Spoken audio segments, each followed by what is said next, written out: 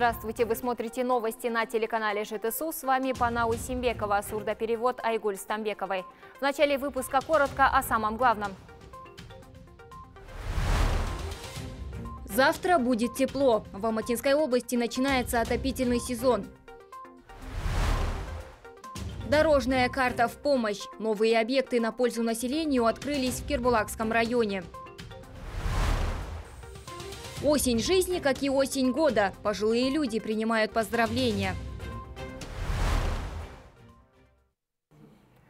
Погода в доме. По поручению Акима Алматинской области с сегодняшнего дня все социальные объекты региона подключены к отоплению. А уже завтра тепло начнет поступать в жилые дома. Всего в этом году на подготовку к отопительному сезону выделено порядка 16 миллиардов тенге. Результаты проделанных работ и готовность теплоснабжающих предприятий сегодня обсудили на селекторном совещании под председательством первого заместителя Акима Алматинской области. Подготовка к отопительному сезону в Алматинской области началась еще в апреле. Чтобы все прошло без сучка и без задоринки, во всех районах и городах ЖТСУ были созданы специальные комиссии, которые мониторили ход работ. На сегодняшний день рабочими группами обследованы все многоэтажные дома региона. В целом по городу Талдыкурган 753 многоэтажных жилых домов, из них к центральному отоплению подключено 728 Э, многоэтажных жилых домов, а остальные 25 домов это сами на отдельном печном отоплении. На сегодняшний день к отопительному сезону по городу Талдыкурган все многоэтажные жилые дома стопроцентно готовы на 2020-2021 годы по отопительному сезону. О готовности к отопительному сезону говорят не только в областном центре, но и во всех районах и городах области. В ходе селекторного совещания руководители регионов доложили о проведенных работах. В целом по области капитальный и текущий ремонт прошли все котельные. Всего их 35. 11 из общего числа работают на газе. В скором времени еще 4 котельные перейдут на голубое топливо. В целом, эксплуатация котельных, использующих газ, приносит не только огромную пользу в экологическом плане, но и положительно отражается на экономике региона, говорят специалисты. В прошлом году мы перевели э, котельную коксу. У нас 236 миллионов мы экономию бюджетных средств получили за счет этого. Ну, в этом году сейчас э, у нас по расчетам где-то порядка 500-600 э, миллионов. В целом, если рассказать, у нас 742 э, населенных пункта, из них 474 населенных пункта подлежат газификации. Э, сейчас у нас 142 э, населенных пункта у нас газифицированы, то есть 33%. В текущем году в рамках дорожной карты занятости у нас реализуется 7 проектов. Благодаря проводимым работам заметно экономят и потребители. Пласервисом исполняется тарифная смета обязана. Однако по представленному отчету за 2019 год было установлено недоисполнение статей затрат, в связи с чем был введен временный компенсирующий тариф на сумму около 42 миллионов. Это привело к снижению общего тарифа. По Алматинской области хотелось бы отметить, что на 2020 и 2021 года по группе потребителей населения рост тарифа не прогнозируется. На всех энергопредприятиях сформирован запас топлива. Есть чем топить и жителям частного сектора. По словам руководителя управления энергетики и ЖКХ, потребность угля для населения составляет более 1 миллиона 300 тысяч тонн. На сегодняшний день 70% уже заготовлено. Ажиотажа и спекуляций нет, заявили уполномоченные лица. Средняя цена по области у нас 13-14 э, тысяч по области. Но, конечно же, есть те регионы, Э, которые у нас нет ЖД-сообщения э, за счет того, что у нас там транспортная логистика и уголь доставляется грузовыми машинами. У нас, например, в Сарканском, Ахсусском районах, в Имбеш-Казахском районах цена достигает до 18-19 тысяч. Но у нас по сравнению с прошлыми годами цена не возросла, то есть она стоит на, на одном уровне. В целом, к отопительному сезону Алматинская область полностью готова, заявляют представители Управления энергетики и ЖКХ. В связи с этим все социальные объекты региона подключены к отоплению. А уже завтра тепло начнет поступать в многоэтажный сектор. Ануар Амангельденов, Абзал Нусипов, телеканал «Житсу». Спорт в массы. В Кирбулакском районе состоялось открытие сразу трех соцобъектов. Стадион на 265 мест, спортивная площадка и новая аллея. Все они реализованы в рамках дорожной карты занятости 2020. Открытие стадиона – долгожданное событие для жителей села Кугалы. Много лет спортобъект был в ненадлежащем состоянии. На его реконструкцию затрачено 58 миллионов тенге. Объект претерпел большие изменения. Появились трибуны на 265 мест. Беговая дорожка, изменился общий вид. В 2020 году по Кирбалскому району э, был проведен текущий ремонт центрального стадиона поселка Кугалы по дорожной карте занятости 2020 было выделено областью 58 миллионов, из них освоено все стопроцентно. По Кирбакскому району систематически спортом занимаются 31,5%, а по поселку Кугалы 30%. Открытие стадиона – большая радость для спорт-комьюнити села Кугалы. Здесь спортивная и талантливая молодежь может заниматься сразу несколькими видами спорта, в их числе футбол, баскетбол, волейбол и спортивная атлетика.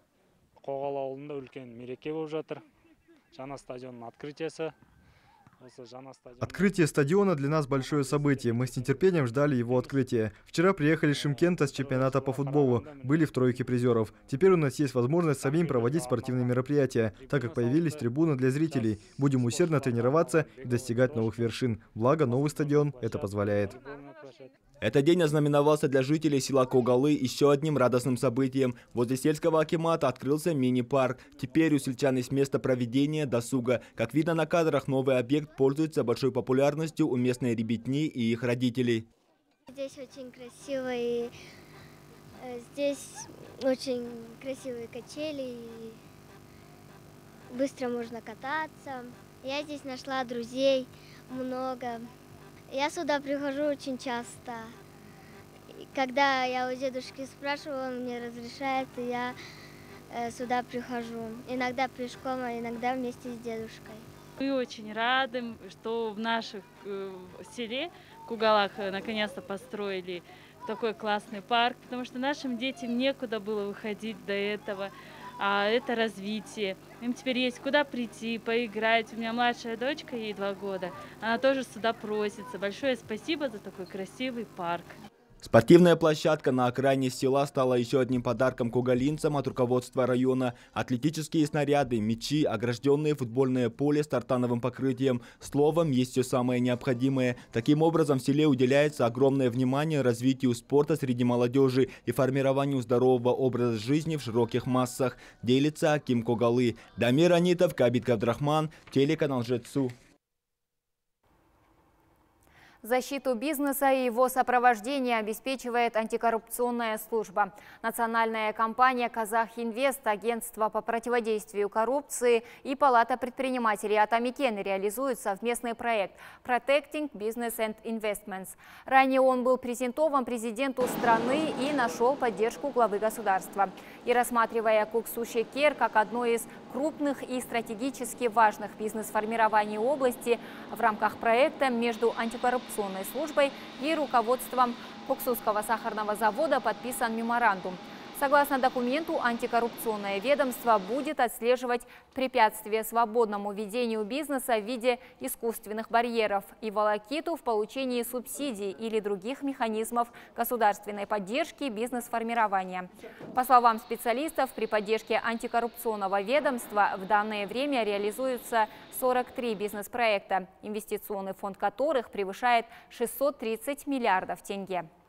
Большинство проблем, которые поступают у нас вопрос, это при оказании, при получении государственных услуг со стороны услугодателей, то есть это государственные органы, квазигосударственный сектор, есть и правоохранительная служба, которая оказывает услуги.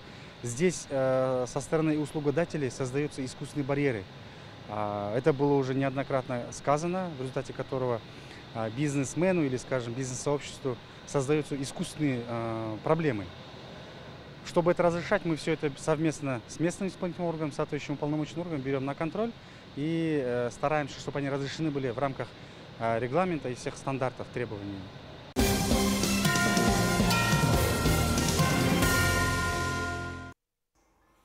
В тройки лидеров. По итогам предварительного голосования в праймериз Алматинской области возглавила тройку лидеров – в нее также вошли Восточно-Казахстанская и Павлодарская области.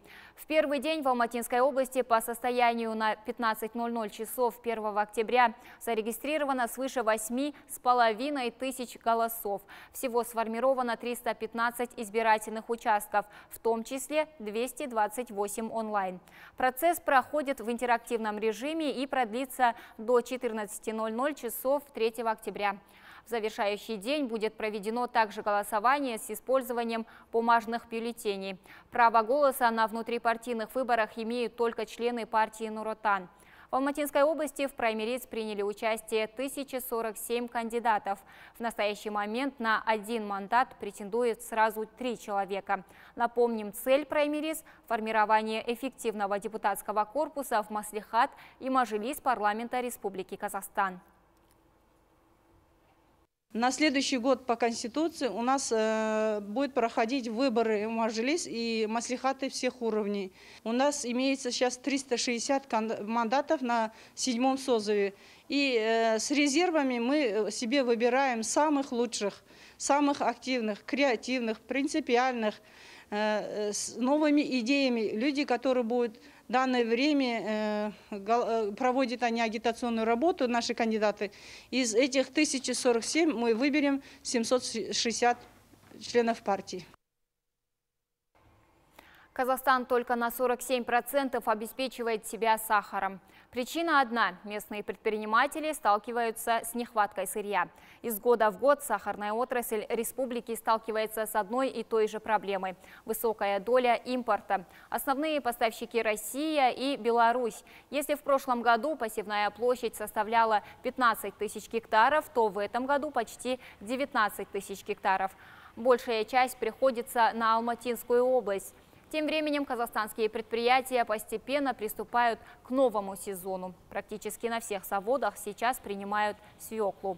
Фермеры еще не собрали весь урожай с учетом климатических условий и проблемами с подачей воды. Аграрии надеются получить урожай на уровне прошлого года. Это почти 253 тысячи тонн.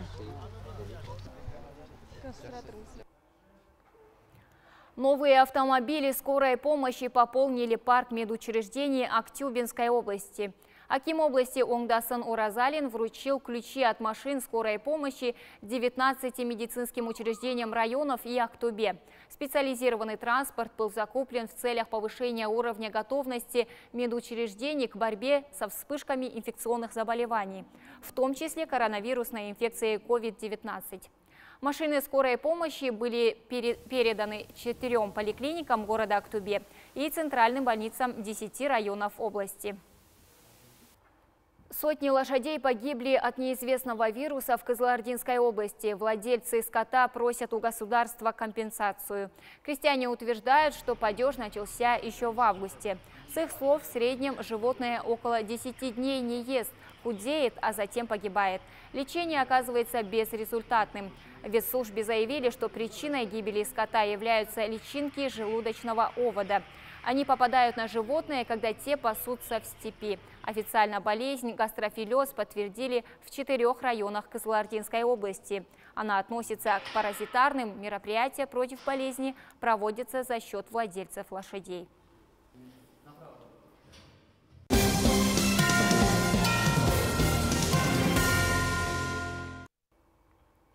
Добрый и светлый праздник. Ежегодно в первый день октября во всем мире отмечается как Международный день пожилых. Хорошую традицию дарить пенсионерам внимание и заботу стремятся поддерживать везде. Не остались в стороне и нуротановцы. В этот день они побывали в доме пожилых талдыкурганцев.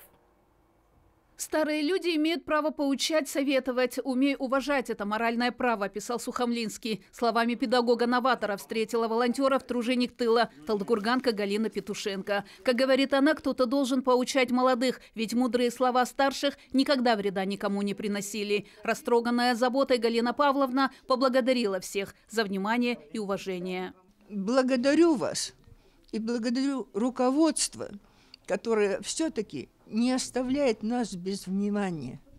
Дай вам Бог добра, счастья, благополучия, и чтобы еще лучше Казахстан становился, чтобы болезнь уходила от всех людей, чтобы сопутствовала только доброта и счастье. Забота и тепло души – это вдвойне приятно. В прохладные октябрьские деньки говорят и другие пожилые жители города. На сегодня волонтеры оказали самую нужную помощь 800 ветеранам. Каждая организация старается в этот день уделить внимание своим ветеранам, поздравить их. Очень много благотворительных мероприятий проводится в этот день. Мы сами уже во многих из них участвовали. Между Жасутаном и областным советом ветеранов подписан меморандум, в рамках которого очень объемную работу ведут волонтеры.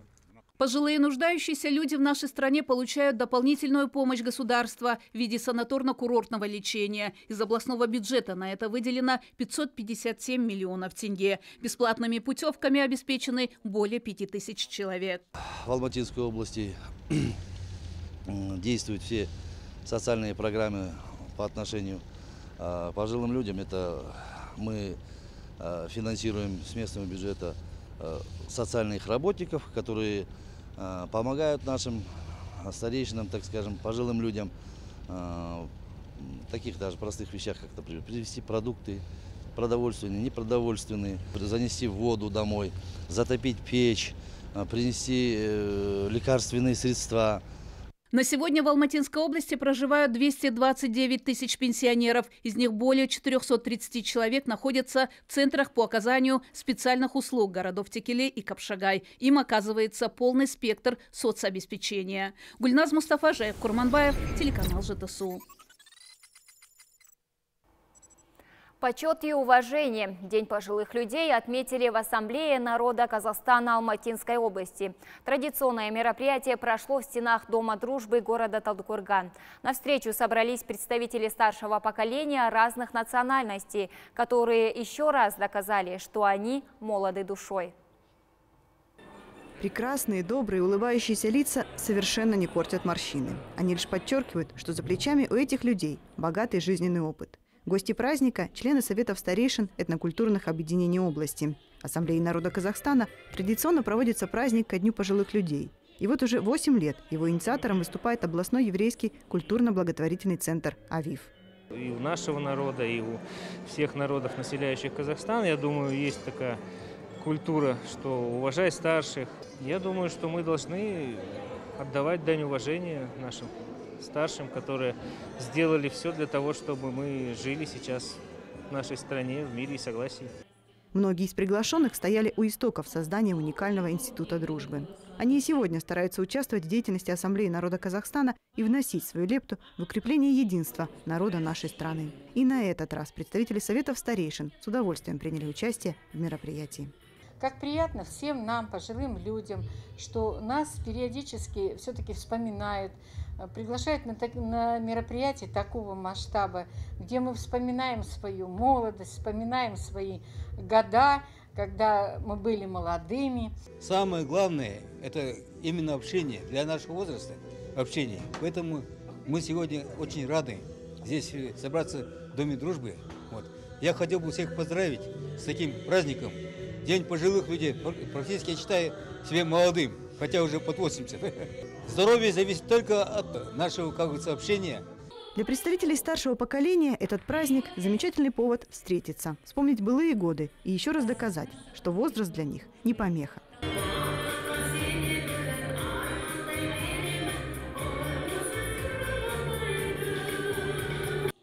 Надежда Белова, Аблай Кутекпай, телеканал ЖТСУ.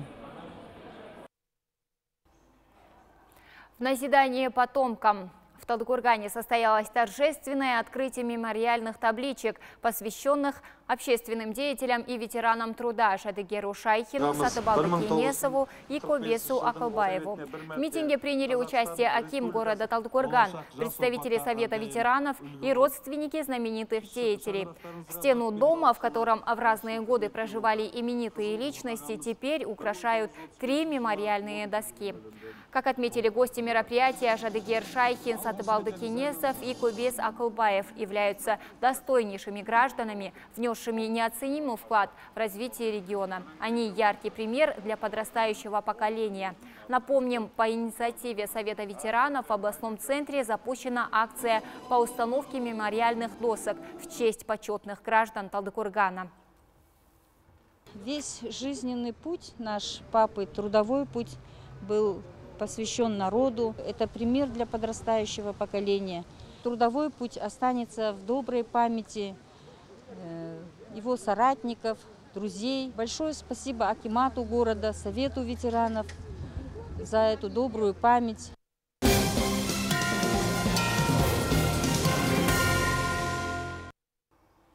Крупнейшая компания в индустрии развлечений Walt Disney сообщила о планах сократить 28 тысяч сотрудников ее тематических парков в США на фоне кризиса, связанного с COVID-19. Об этом стало известно после того, как власти Калифорнии дали понять, что Диснейленд Resort в Анахайме, самый первый из тематических парков Уолта Диснея, не откроется в обозримом будущем. Дисней отмечает, что негативное воздействие пандемии усугубилось в Калифорнии из-за нежелания властей штата снимать ограничения, которые позволили бы возобновить работу Диснейленд. Тем временем Армения и Азербайджан отвергают призывы международного сообщества сесть за стол переговоров. На фоне четвертого дня ожесточенных боев в районе Нагорно-Карабахского конфликта в Ереване у военкоматов выстраивались добровольцы. Такая же картина наблюдалась и в Баку, где мужчины толпились в очередях у призывных пунктов. Минобороны Азербайджана заявила об, об обстреле армянскими силами города Тертер расположенного недалеко от линии соприкосновения в Карабахе. По данным оборон... оборонного ведомства, есть раненые, гражданской инфраструктуре нанесен ущерб. По данным армянских СМИ, с начала ведения боевых действий число погибших с армянской стороны составило 104 человека, 81 военный и 23 мирных жителя. Азербайджан о своих боевых потерях не сообщает.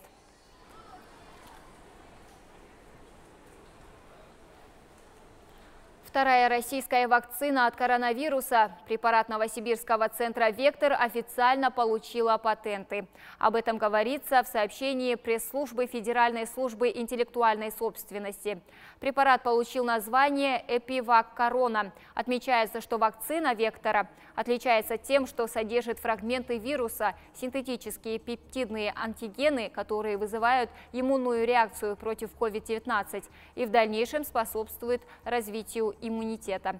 Центр «Вектор» 24 июля получил разрешение Минздрава Российской Федерации на проведение клинических испытаний вакцины на добровольцах. Первый доброволец был привит 27 июля. Заключительная группа из 20 добровольцев, участвовавших в клинических исследованиях, была выписана из стационара 8 сентября.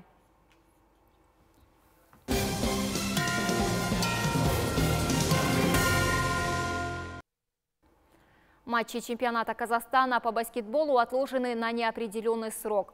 Ранее сообщалось, что игры состоятся в сентябре. Теперь судьба соревнований решится 5 октября на собрании всех спортивных федераций по игровым видам спорта в Министерстве культуры и спорта Республики Казахстан.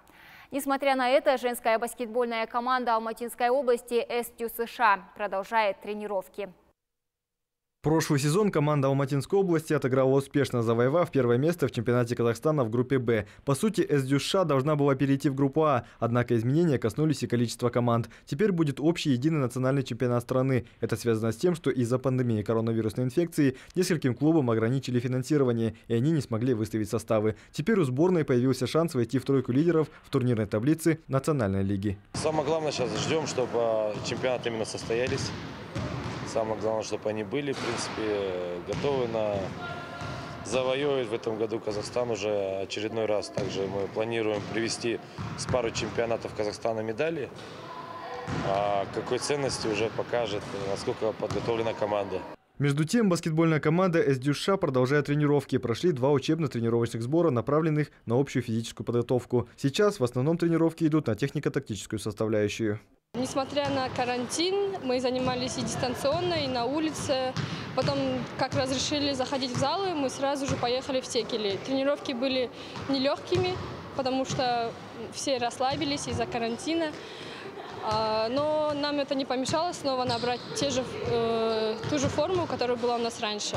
Необходимо отметить, что в составе команды Алматинской области играют и спортсменки, входящие в национальную сборную. И если чемпионат Азии состоится, то наши баскетболистки подойдут к играм в полной готовности, заверяют тренеры. Алексей Цой, Мадибай Бусынов, телеканал ЖЦУ.